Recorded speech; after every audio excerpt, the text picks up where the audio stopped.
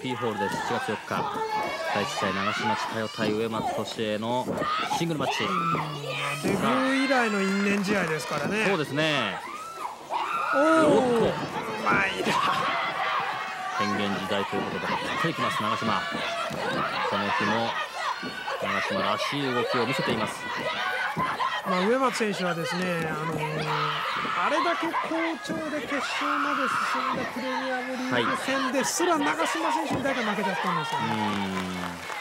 ん。相性っていうのもあるんでしょうけれどもね。デビュー以来一回も勝ってない選手でうーん。ななんなんでしょうね。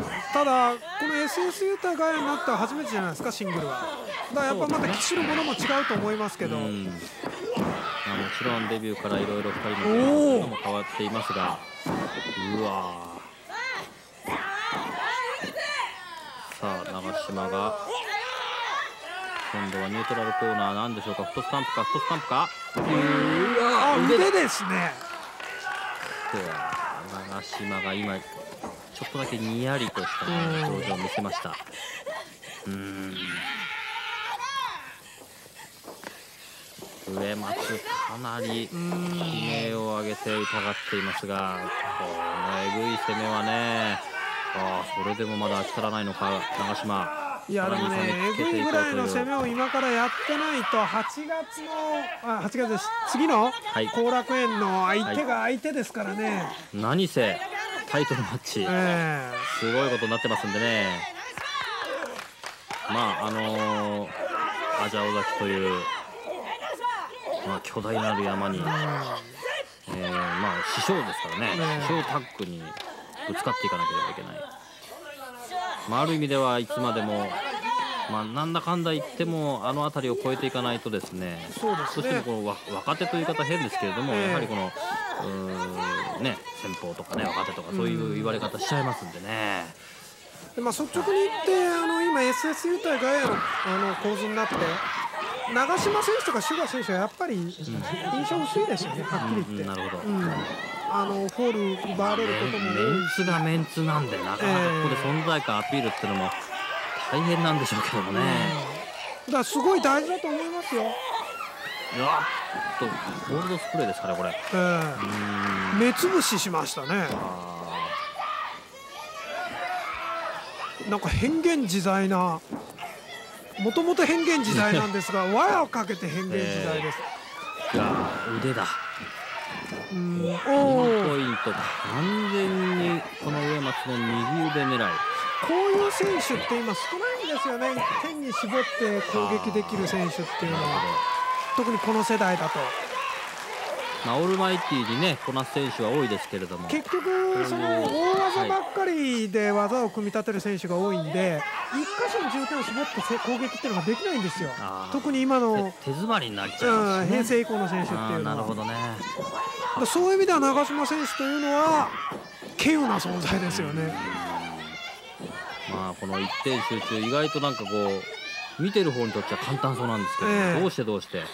いややっぱりこう試合の流れの中で一点集中です。あさあ駆け上がりの。出ますね。ポポンポンポン。ななあ。ああしかしこれはうまく上松がおお顔面に2をあてがっていた。長嶋もロープから落ちるですね。でもあれがみっともない落ち方しないあたりが。そうですね、えまあ上松が押さなければ完璧に決まっえてますんそうですね。これ広田なんかだったら豪快に背中から受け身取ってますね。なるほど。さあさあ今のはああ腕攻めでどうやら？そうですね。力が入んなかったんでしょうか。入らなかったのか。うん。もう一発。おっとあおーっと逆の腕だ。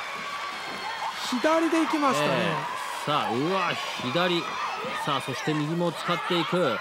マウントを取って顔面パンチだうわーっとたまらずレフリーが止めに入っているんですがもう止まらないうーんちょっと冷静さを欠いてますね。もうちょっと戦略的に使わないとダメなんですよね。パンチとかは。なるほどうん、それ連打すれば止められるんですから反則なんだから。なるほどねうんしかしまあ逆に言うと上松ここまで追い込まれているとうんいう表れでもあるんでしょうかおあーすごいしかし重量感あふれるミサイルキックが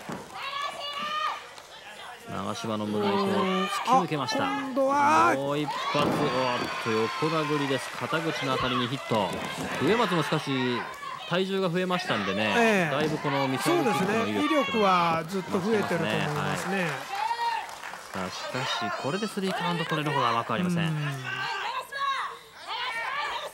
さあしかし長島もやや疲れが見えてきたか。いやわかんないですよこれは。こればっかりは長島の場合はね、さあダブルですかもう早くも。うわーしかしここは返していく。ん。あ。ここが今のもちょっと中途半端ラインアットだったのか。なんか返そうとしたのにも見えたんですけどね。うわこれは。倒れていても顔面に伸び上がるようにキックを見舞っていく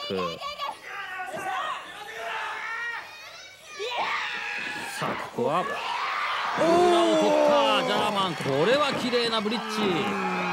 見事な人間境しかしすかさず右腕を。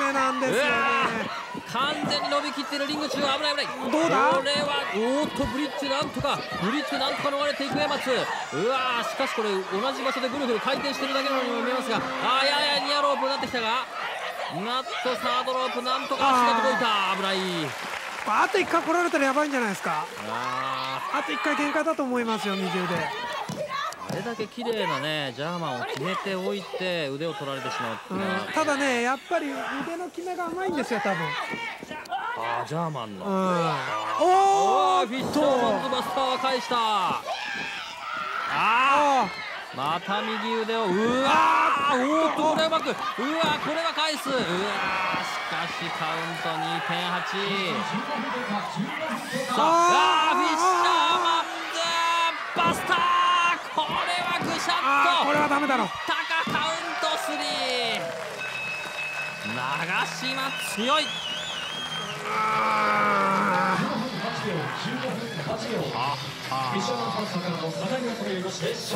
なる右腕殺しから最後は得意のフィッシャーマンズバスター。まあなんて言うんでしょうかトータルの試合としてよく考えられた試合って言ってしまうとねそれまでですけども、まあ理にかなった攻めを上した松選手があと一回腕やられるときついってところでフィッシャー。マンうまいです。さすがねもう頭脳派。ますますあの後楽園ホール楽しみになってきましたね